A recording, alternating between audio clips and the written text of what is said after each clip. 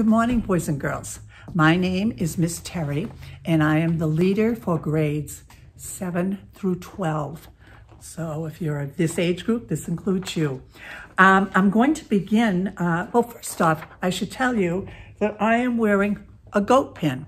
And the reason I'm wearing a goat pin is I have made my selection for heifer. And I have selected a heifer with a goal of $120. Now I've already started because I have a bank.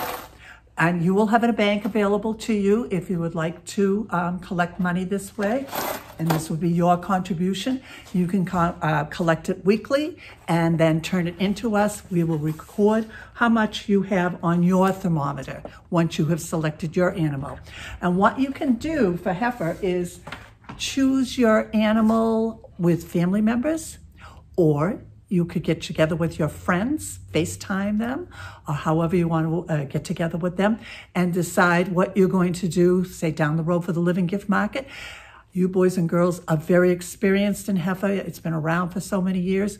Believe it or not, it's been more than 25 years in this church alone. Now, I have um, a Bible reading I want to read to you. And it's all about Jesus and the woman of Samaria. And this is John 4, and it's verses 4 through 27. So bear with me on this. But he had to go through Samaria. And of course, this is Jesus we're talking about. So we came to a Samaritan city called Sikla, Sitcha, near the uh, plot ground that Jacob had given to his son Joseph. Jacob's well was there, and Jesus tried out by his journey, tired out by his journey, was sitting by the well. It was about noon. A Samaritan woman came to draw water, and Jesus said to her, Give me a drink. In parentheses, it said, his disciples had gone to the city to buy food. The Samaritan woman said to him, How is it that you, a Jew, ask a drink of me, a woman of Samaria? A parentheses again, Jews do not share things in common with Samaritans.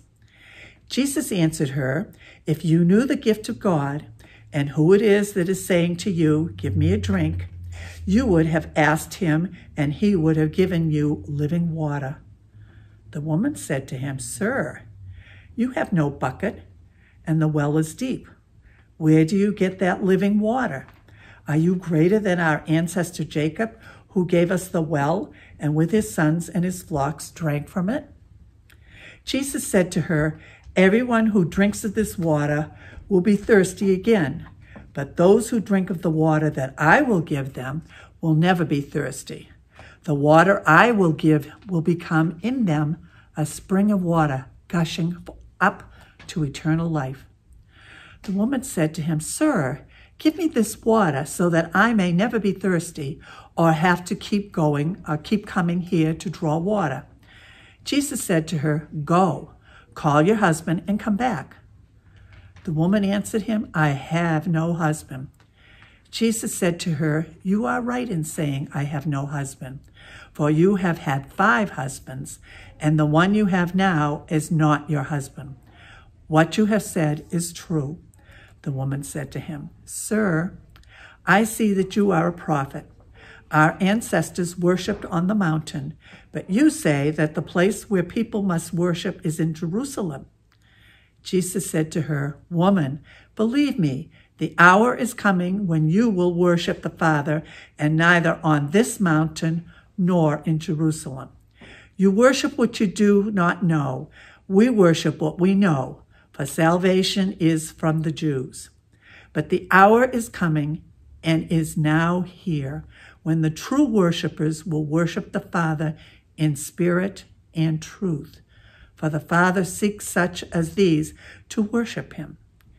God is spirit, and those who worship him must worship in spirit and truth.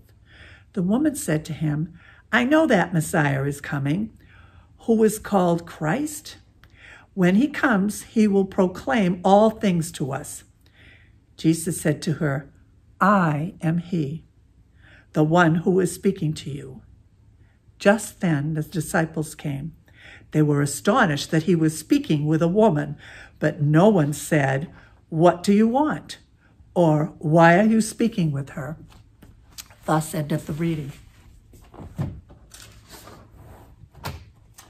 Now, there are some questions that I want you to ponder. Determine why the disciples were so, shocked that Jesus was talking with this woman. We know that many of their concerns with her were also reasons others rejected her. So I want you to think about that a little bit. Now, here's another question for you. How was this woman treated by others? How did Jesus treat her? How can we treat people who are different than we are, who do things we disapprove of, or are even our enemies, in ways that reflect how God sees all people?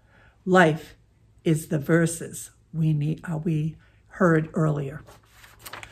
So, boys and girls, I want you to be thinking about all of those things.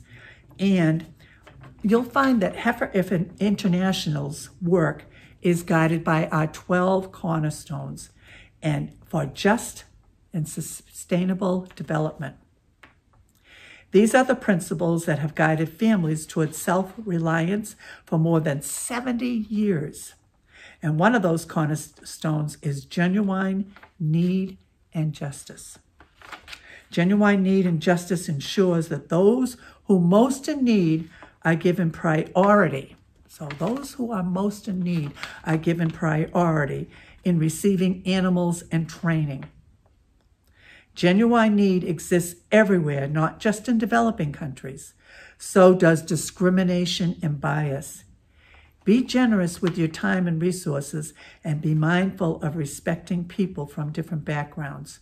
To learn more about our cornerstones of genuine need and justice, visit, and here, see if you can write this down, www.heifer.org slash cornerstones. All right, boys and girls, I hope you'll be thinking about that when you choose your animal and think about giving your gift. And we will talk more about the Living Gift Market and how we're going to do it here at the church. Thank you. Goodbye until next week.